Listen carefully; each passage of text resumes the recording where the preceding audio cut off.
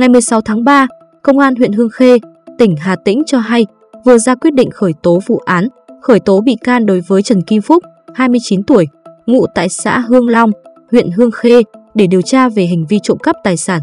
Phúc đã có hai tiền án về tội trộm cắp tài sản, vừa chấp hành án phạt tù quay trở về địa phương sinh sống từ tháng 11 năm 2021.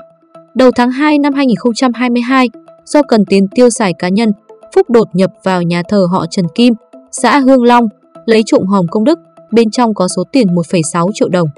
Gần đây nhất, ngày 14 tháng 3, Công an thị xã Kỳ Anh đã khởi tố vụ án, khởi tố bị can và bắt tạm giam 2 tháng với D, 21 tuổi, và Quy, 18 tuổi, cùng ngụ tại phường Kỳ Trinh, thị xã Kỳ Anh, để điều tra hành vi trộm cắp tài sản.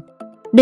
16 tuổi, ngụ phường Kỳ Trinh, chưa đủ tuổi truy cứu trách nhiệm hình sự nên được bàn giao cho gia đình quản lý. Trong khoảng hơn một tháng đã thực hiện 5 vụ trộm cắp tài sản tại các đền, chùa ở huyện Kỳ Anh và thị xã Kỳ Anh, lấy đi số tiền gần 17,5 triệu đồng.